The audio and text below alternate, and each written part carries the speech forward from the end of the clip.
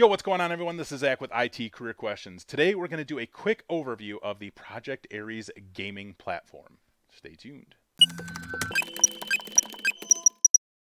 So before I begin today's video, I want to make sure that you guys know that I will be live streaming the Game of Titans Championship in Las Vegas at the Esports Arena that's housed within the uh, Luxor Hotel and Casino. That is next Tuesday, August 7th from 6 p.m. to about 10ish p.m. Pacific Standard Time. So make sure you hit that live stream because we're going to be interviewing people and they're going to be answering your questions. I'll be answering your questions and we'll be showing you what's going on at this event. It's going to be super exciting. So let's get into this game so that uh, we can tell you just a little bit about it. This screen right here is the main screen that you'll get as soon as you log into the game.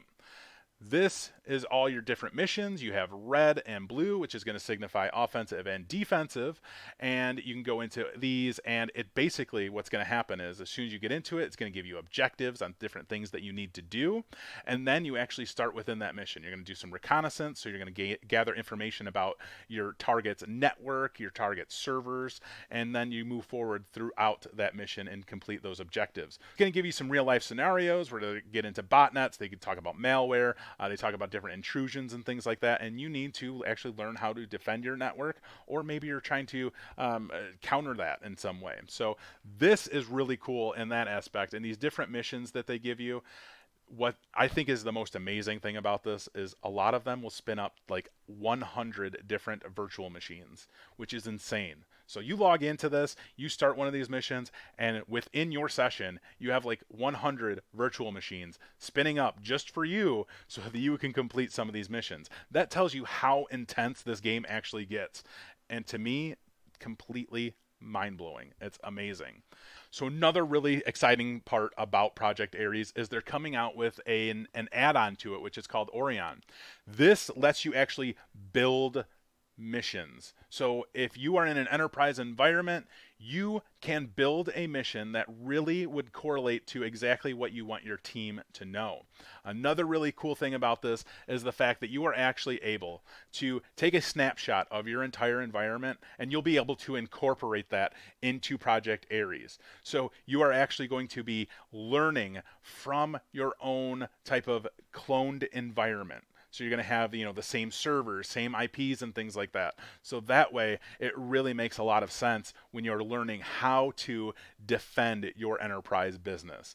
Having that type of feature that you are able to implement your a copy of your enterprise into this game is insane like able to then learn from your exact environment. You're going to have your same servers and IPs and things like that.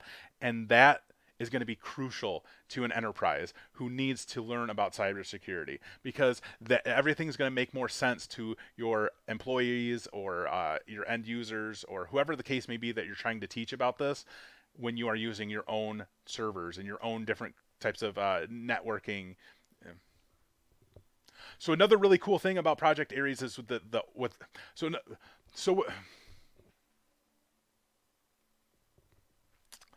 Uh, so another really cool thing about this is that you will actually be able to take a snapshot of your business environment and you can actually import that into Project Ares so that you are actually learning off of your own environment. It's you have that complete clone so you have your servers and IPs, your different switches and how all of those are set up. So then you can actually defend your own network. You're learning from your own network. So for your employees and your coworkers and things like that, everything is going to make a little bit more sense when you see your server servers and what's going on and how each of those uh, different uh, type of tools and things work to either you know go down that offensive route against your environment or that defensive route on your environment. So that is going to be something that's just going to be completely revolutionary to the, the gaming platform here. So again, you can clone your environment and you can actually create missions. So that is going to be a lot of fun to do. Uh, the next thing that I want to kind of show you guys about is the Battle School, which is one of my favorite areas of this platform. Uh, within the Battle School, you have your Media Center, which is going to give you a lot more information about different technologies, tools, and things that you should know going into this game. So you are going to learn a lot about cybersecurity, but the Media Center just kind of lets you dive deeper into some of those different technologies and things like that by giving you links to different PDFs, websites, and videos. So they're giving you kind of that information there as well in the media center, and you guys check that out, of course. In the game room, they have different games that you can play. There's six different games. They are all a lot of fun. Uh, for instance, Trivia Loot is much like Jeopardy. You uh, pick one of the the different questions there for you know whatever amount of dollars. If you get it correct, you win that money. If you don't, you lose that money, and that's a lot of fun.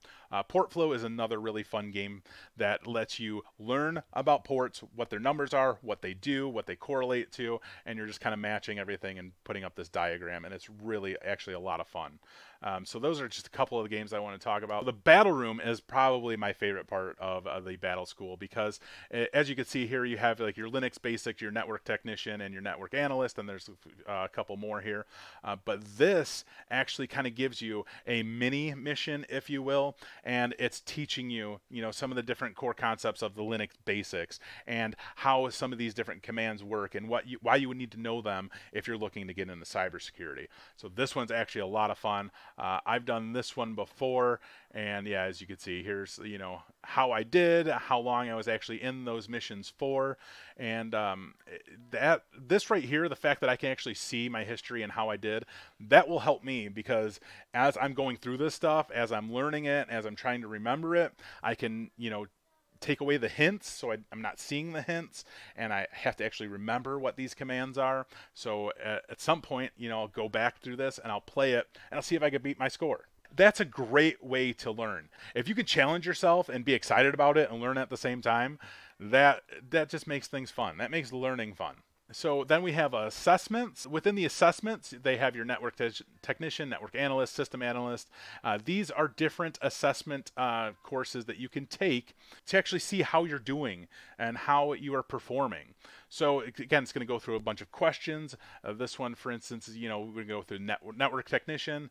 What do you know about networking? Have you been learning from this platform? This is going to test your skills. So if you don't know something, obviously you're going to have to go back and start learning and start doing the, the different games and stuff so you can pick that stuff up. Uh, so as you, as you can see here, I, I actually probably exited out of this one, so I failed it.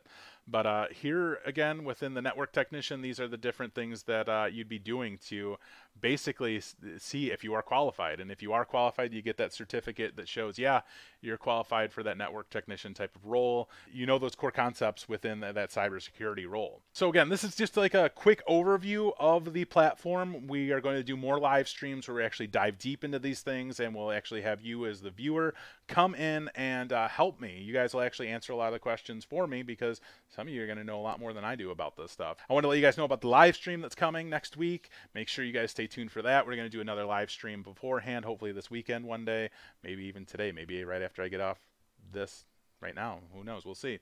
Um, if you guys have any comments or questions, you can hit me up in the comments below. If you are interested in playing this game, I'm going to put a link in the description to a Google form please go ahead and fill that out and I'm going to get back to you and I'll let you know more information about how you can play this game. That's all I got for you guys today, so as always, take it easy.